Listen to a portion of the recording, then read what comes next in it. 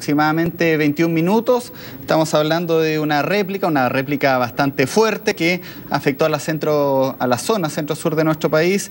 A través de Twitter, por ejemplo, podemos recabar que en Santiago se sintió y la región de Valparaíso se sintió con una intensidad de 4 grados, Casablanca y Quillota, estamos hablando de 4 grados, San Antonio y La Calera 4 grados, Rancagua 4 grados y Curicó de 2 grados. Estamos hablando también de la escala de Mercalli, la cual mide intensidad.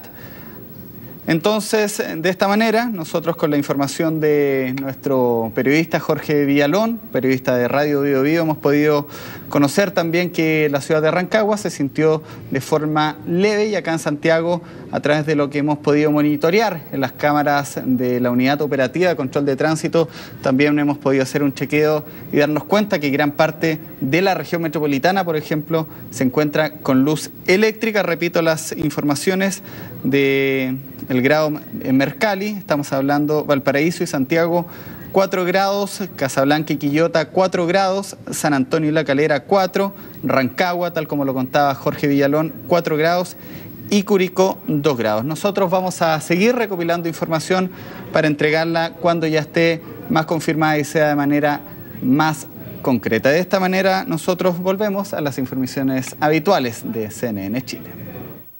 Continúe informándose en CNN Chile.